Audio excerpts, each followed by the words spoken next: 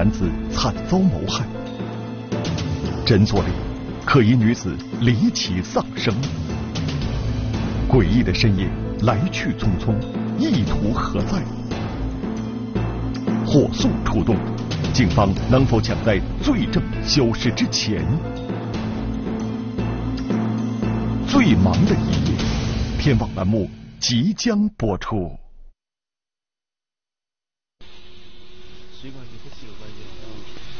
华北地区十二月的凌晨，正是一天中最寒冷的时候，大多数村民还在香甜的睡梦之中。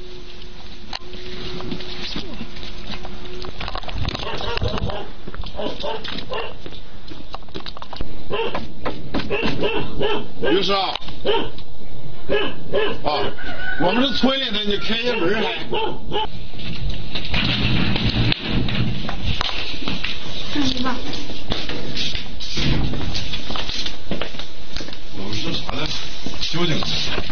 对象叫啥名字？我对象叫。在干啥呢？跑出租呢。昨晚回来了吗？昨晚没回来。最近这两天回来了吗？回来了。民警们反复追问的目标就是这户人家的男主人宋某。警方怀疑宋某与刚刚发生的一起交通事故大有关系。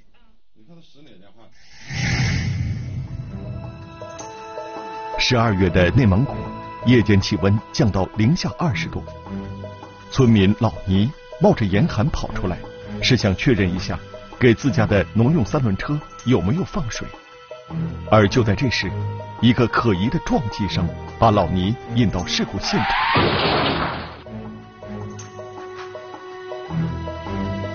当时车在靠西门路边停着，车的右前方和公路的护栏接触了，车上什么灯光也没开。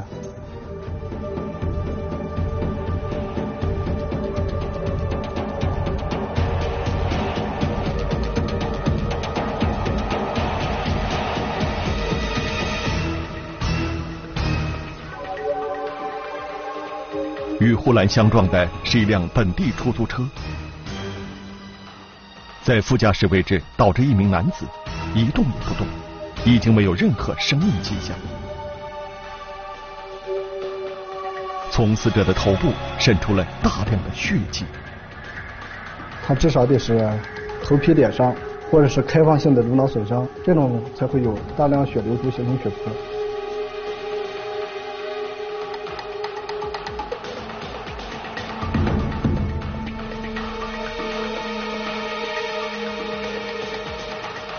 显然，这起事故是正在行驶的出租车突然失控造成的。但令人不解的是，事故发生后，驾驶员为什么没有及时施救，反而不知去向？应该是逃逸了吧？他发生事故以后，一个是饮酒、酒驾，另外一个是他无证驾驶，这这两种情况他会跑。出租汽车公司登记信息显示，这辆车的驾驶员就是二道营子村村民宋某。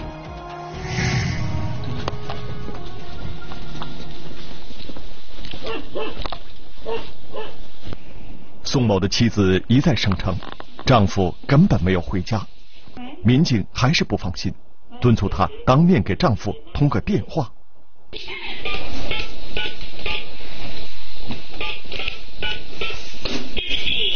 拨打的号码是空号，加二。哪个空号？给了晚上又说关机了。他家里有房吗？有。在哪住的？北京小站盘盘上了。租的。啊。谁们家的房子？我我不知道谁们家的。租谁家的？我不知道。那都是他负责。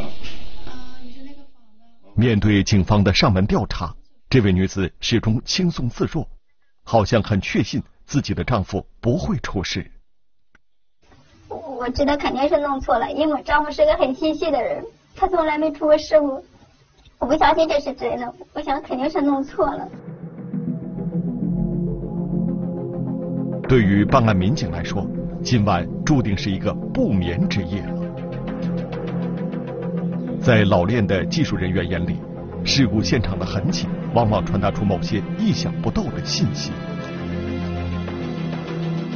当时我们看那个车的周围没有任何的刹车痕迹，他的这个车的给我们的感觉，他就是应该说是非常缓慢的跟护栏有一个接触，不是说的是撞击，不是说车启动时候正常一定速度的撞击。既然是缓慢的接触、轻微的碰撞，也就不可能对车上成员造成生命威胁。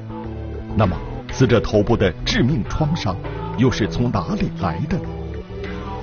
从他的伤上看，应该有头皮裂伤，有颅骨骨折。咱们分析应该是一个钝性的物体呃形成的。这起貌似单纯的交通事故陡然变得复杂起来。所以说，我们第一个感觉像不是一般的交通事故了，很可能是呃谋杀或者他杀的。根据亲属辨认和 DNA 检验证实，出租车中的死者不是别人，居然就是驾驶员宋某本人。原来，四十岁的宋某根本没有肇事逃逸，而是在自己的车中不幸遇害了。被害人的死因跟车祸没没有没有太大关系，他是右后侧的头部受到了钝体的打击。根据伤口的位置推断，宋某应该是在夜间运营过程中，突然遭遇来自身后的野蛮袭击，而车祸不过是凶手有意制造的假象，然后又被呃转移到车的副驾驶位置上，呃造成一种交通假象，这是我们最初怀疑的，有可能这样。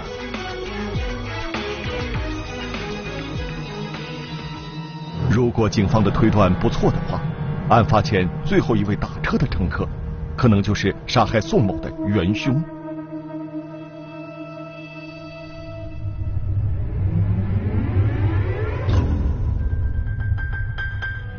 他是当时看照片是他自己在前面开车，副驾驶位置没有人。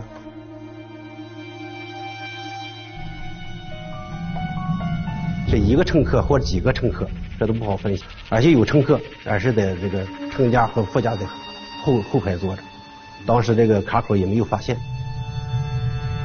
此时，宋某绝对没有想到，危险就在自己的身后。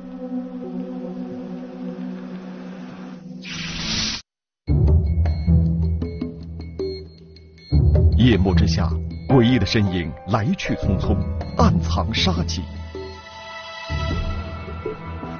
这意图非常明显，那么就是为了呃把宋某呃约上，呃约到指定与指定地点。危急时刻，中年男子奋起反抗，却无处逃生。他是能动的话，他他再回来开这个车，或者是想方想想办法去求救。最忙的一夜，天网栏目正在播出。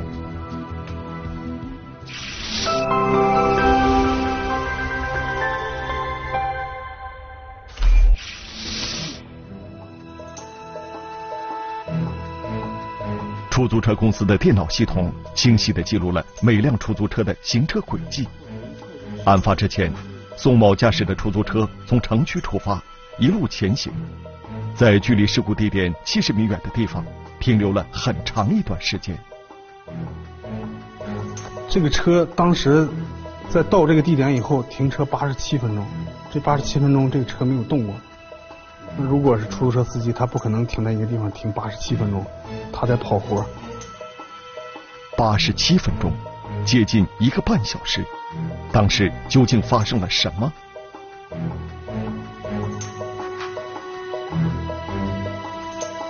在停靠点左前方的荒地上，技术人员发现了一个极其可疑的物件。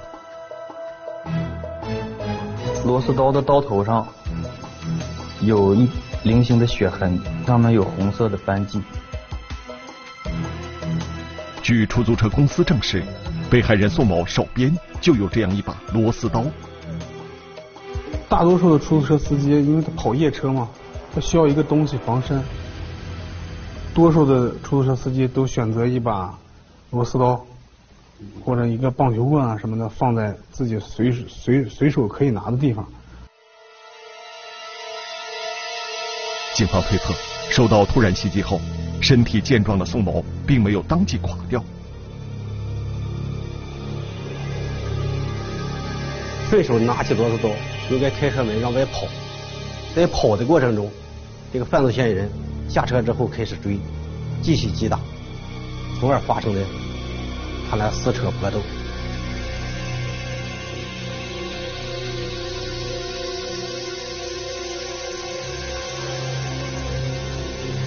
啊，那么既然他拿了这个防身工具，那么他又就就应该也做了应用，那么有可能犯罪嫌疑人身上也有也应该是受到这个螺丝刀的呃伤害这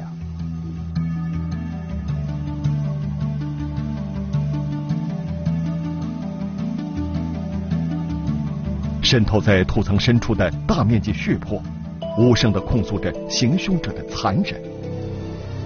这说明这个人是在，应该是在受伤之后，呃，失去抵抗能力，或者失去活动能力，或者是被人控制，呃，移动不了的情况下，形成这么大的血泊。这八十七分钟，这个驾驶员指定不能动。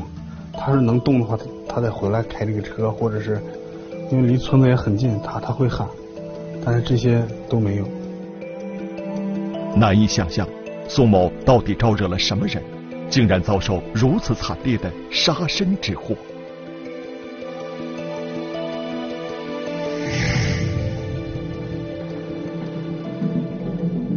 和许多勤劳能干的村民一样，宋某也是一个闲不住的人。村里种着庄稼，城里跑着出租。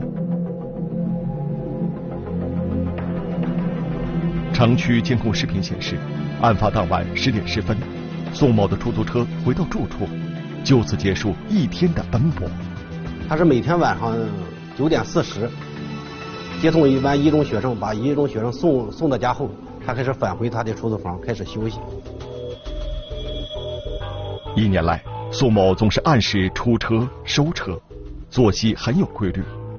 然而这天晚上，一名神秘女子的出现，打破了平静的一切。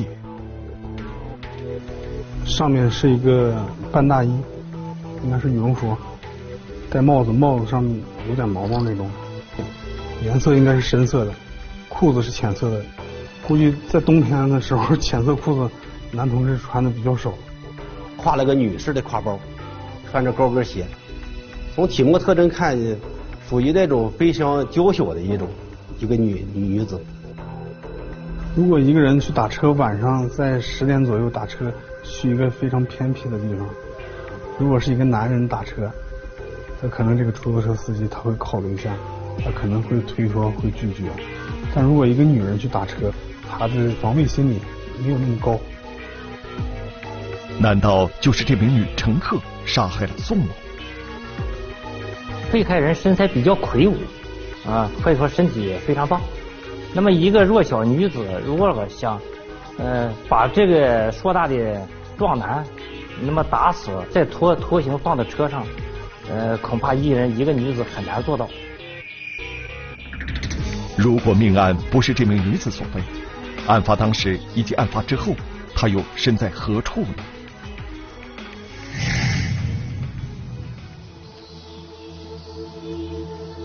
办案民警沿途搜寻，很快就捕捉到了一个熟悉的身影。当时时间是十二月二十六号的两点四十五四十六分，在他们家的这个监控录像里面，出现了一个人步行的一个一个女子，是自动往西走。这时，女子突然做出了一个非常诡异的动作。她就开始在路的中间走。之后完了，走到路边，他就是他这个动作，就是在躲避这个监控，不想让监控拍着他。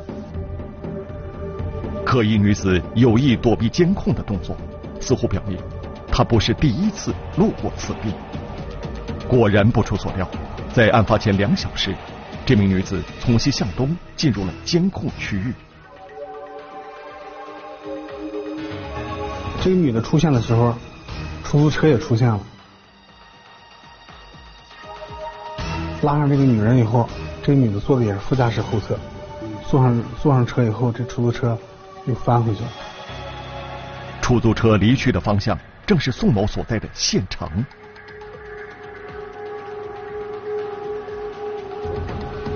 出租车司机证实，当时一名女乘客打电话约车，上车后显得非常焦急。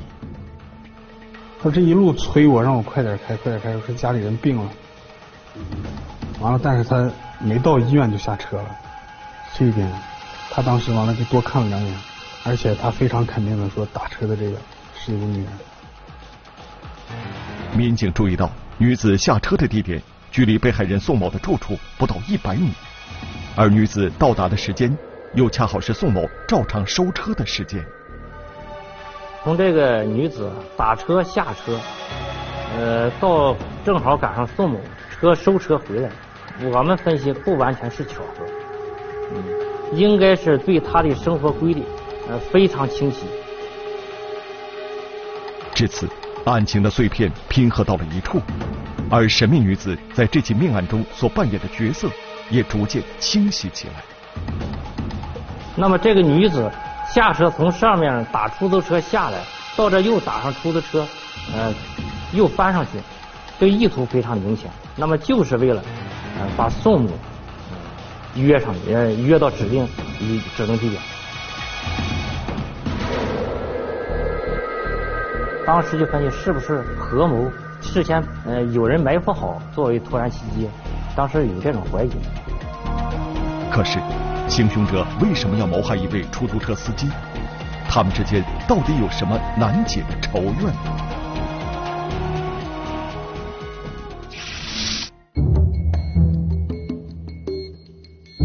晚上，中年男子在出租车里惨遭谋害，而同村的女子又在诊所中离奇丧生，难道这只是一种巧合？当时看那些表现，她丈夫不知道。她丈夫进屋以后就开始喊喊她妻子的名字。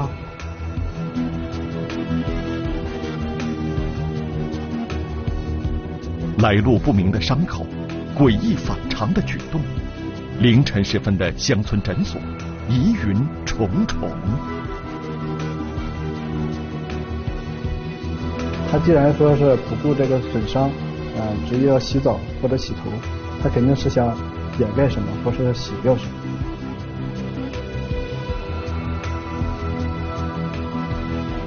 最忙的一夜，天网栏目正在播出。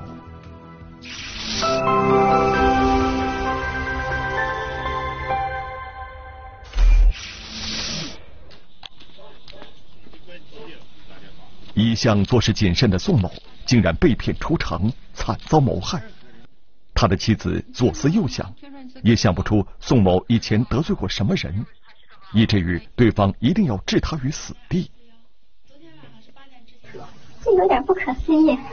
再说，这发展上出人命吗？再说，他犯不上害我丈夫。我总是认为这不是真的，但还是发生了，不得不信。警方认定，蓄意杀害宋某的凶手。应该就在他的熟人们中间。这是安装在二道营子村主要路口上的监控。凌晨两点三十分，一辆摩托车悄悄驶入村中。嗯，在农村凌晨两三点钟，呃，出现的人并不是路上行人或者并不是很多。嗯，那么恰恰这台摩托车又是在发案以后，而且是可疑人员呃行走的方向。那么就要把它作为重点，所以说就呃这个白头盔、红摩托车、黄大衣这个人纳入事件。这个神秘的夜归人可能是谁呢？二道营子村比较偏僻封闭，村民都是土生土长的当地人，属于典型的熟人社会。但是骑摩托的人包裹得很严实，谁也看不出他的真面目。反倒是频频出现在监控下的可疑女子，让村民们产生了似曾相识之感。经过这个村里的村干部辨认，这这身装扮像是他们村康某的衣服，穿着像他的。凌晨四点，大多数村民依然沉浸在睡梦之中。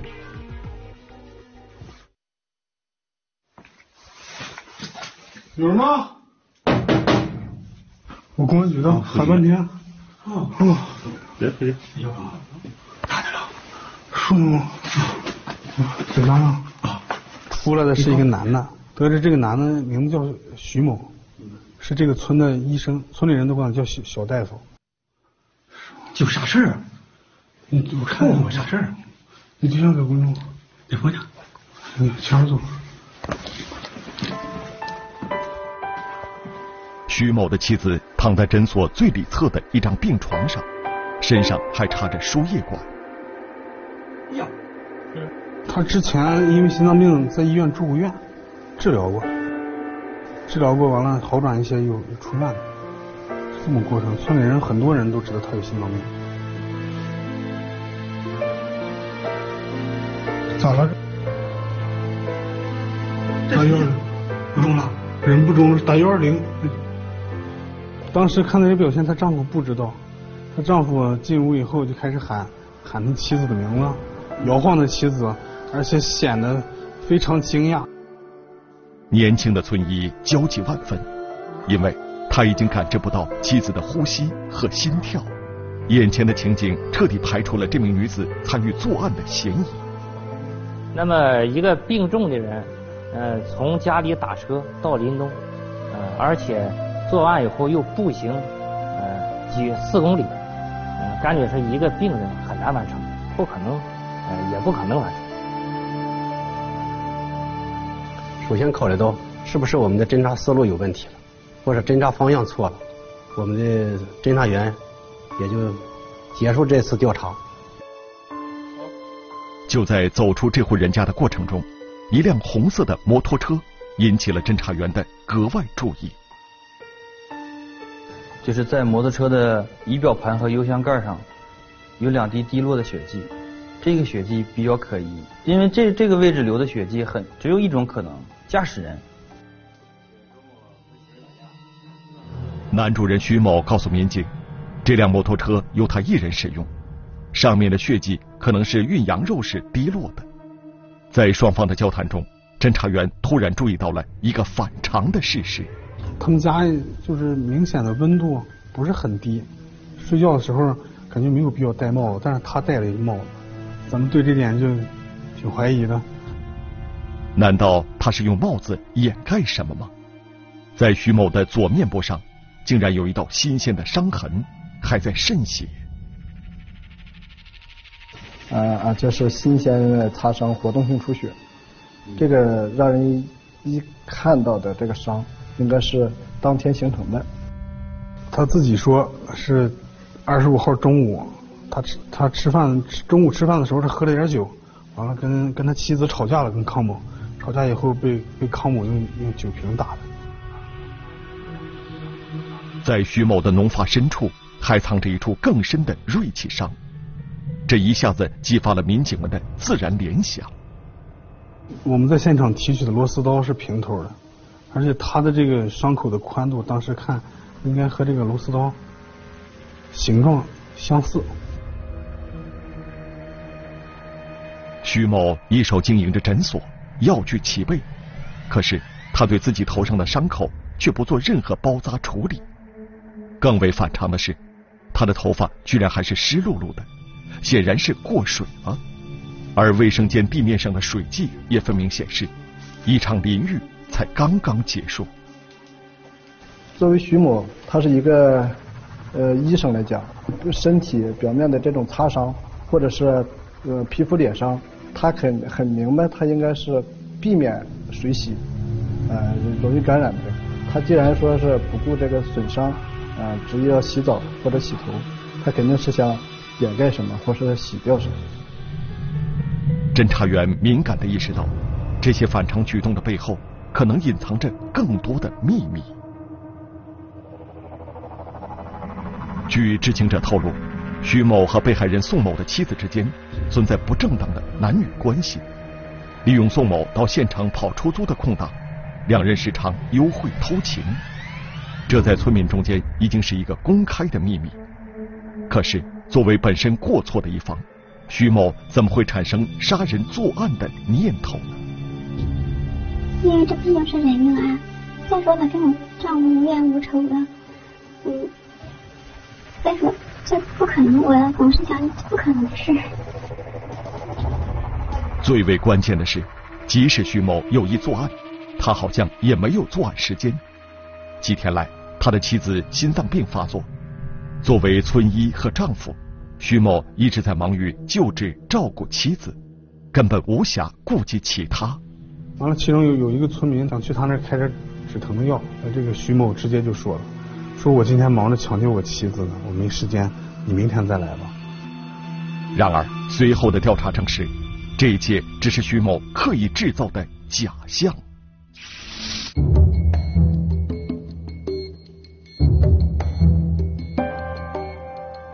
冒黑烟的炉火，烧不尽的罪证，可疑物品重见天日。装饰用的，它不是我们正常农家用的东西，应该就是女士背包上面的装饰品的铁环。本以为能够杀人于无形，却不料风云突转，精心的算计全盘落空。然后我想想快洗吧，咋得先洗干净了。没等没等没等那个啥呢，洗洗完，洗澡没洗完，然后警察的耳朵。最忙的一夜，天网栏目正在播出。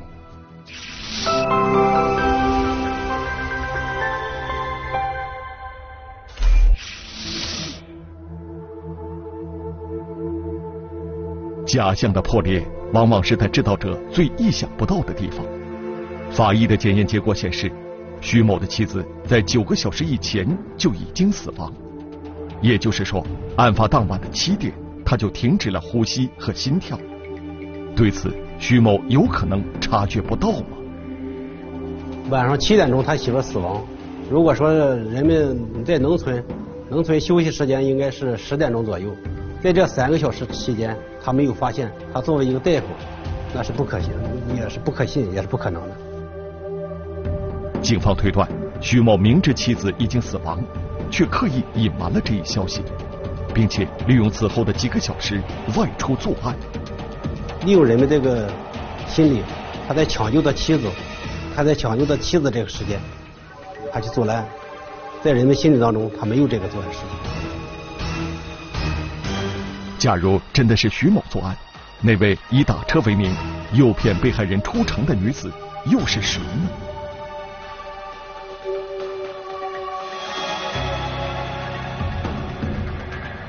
这时，茶几上的一堆物品引起了侦查员的注意：妻子康某的身份证、合作医疗本、几张小面额纸钞。显然，这些东西是临时堆放在这里的。这些东西看应该是他在屋里翻一个翻一个包的，应该把包里的东西全拿出来了。那现在那这个包去哪了？这样我们侦查员就在他家的锅炉还有灶堂进行查找。那么在查找锅炉的同时呢，发现了锅炉里有刚刚呃燃过呃物品的痕迹。就是从那个把那个炭拿拿出来以后，一点一点清理，在清理的过程中就发现了有这个大衣的扣子，完了所穿那个皮鞋的鞋弓子，还有那个铁环，四个铁环。这个铁环这个东西应该就是装饰用的，它不是我们正常农家用的东西，应该就是女士背包上面的装饰品的铁环。随后，侦查员在紧邻锅炉的储物间中，又发现了一个形貌可疑的锤子头，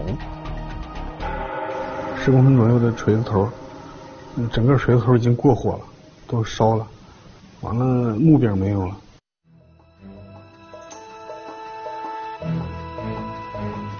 徐某根本没有想到，已经销毁处理的罪证，一样样都被警方找了回来，他再也无法维持一副无辜者的模样。随即承认自己就是杀害宋某的唯一凶手。当时之前吧，我就寻思是，嗯，揍他一顿，真的很，嗯，也没寻思说是说点啥。原来宋某察觉到妻子与同村男子徐某有暧昧关系，但是他并没有深究，只是让妻子尽快搬到县城，和他住在一起。吕某感念丈夫的宽容和用心，也决定趁此机会了断这段荒唐的婚外恋情。我和丈夫已经联系好了，都是打电话了，放假就到临东来，然后就打算搬到临东来住了。我当时也想，如果我到临东了，我和他联系了，有我丈夫了，也许他就能改变一些想法，他也能好好过日子。然而。此时的徐某已经不安于现状，他一心要与吕某长相厮守，为此不惜抛下眼前的一切。他只是说，如果你感觉要是在这村子里害怕别人闲言碎语的话，我可以带你走。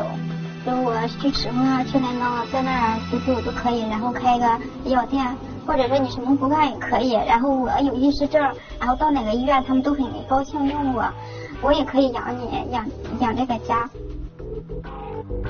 案发当晚七点，发现妻子已经去世后，徐某觉得自己离梦想中的生活更近了一步。他的这面他已经没有后顾之忧了，他所有的问题都都都已经解决了，他剩下的唯一的一个障碍就是宋某。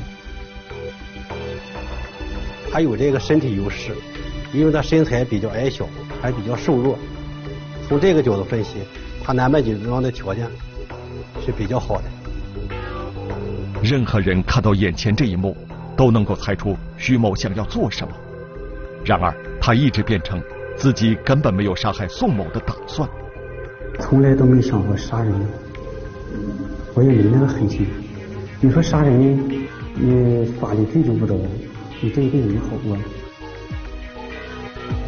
扮成女人的徐某如其所愿。顺利将宋某骗出城区，一路行驶到偏僻的地段。他觉得下手的时机成熟。那应该是打到脑袋上了。你看那天那么黑，拿锤子一抡，抡两下子，抡两下打一下子，那下没打着。突然袭击又是铁器，一下至少把人给打晕，但是没有出现他想要的这个效果。结果是被害人奋起反抗，呃，造成两人搏斗，搏斗之间，两，呃，他本人也形成伤害。更让徐某没有想到的是，当地警方接到报案后，充分发挥多警种合成作战的优势，现场勘查、实地排查、视频追踪等多路侦查小组同时展开工作。案发后还不到三个小时，侦查员就已经排查到徐某的家中了。你看我回家一看，那满脸都是血，都看不出人来了。然后这手哈，手上现在还有好多疤了，扎的那是。然后我说先快洗吧，咋得先洗干净了，洗澡没洗完。然后警察在外边叫。有人吗？我公安局的，喊半天。啊，别推！你如果想通过非法的手段或非常规的手段来追求所谓的幸福，不但达不到目的，而且会给家庭和社会都会造成一种悲剧。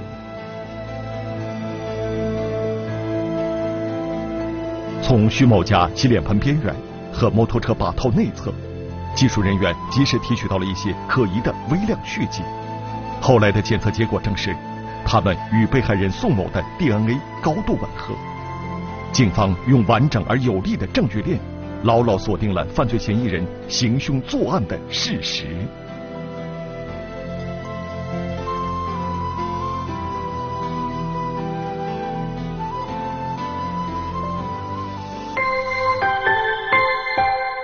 热闹聊天室，年轻的男男女女，疯狂的表演之中。隐藏着罪恶的交易，深居简出的情侣，名校毕业的高材生。严密的网络背后，谁是真正的高手？寻找毒蘑菇。天网栏目近期播出。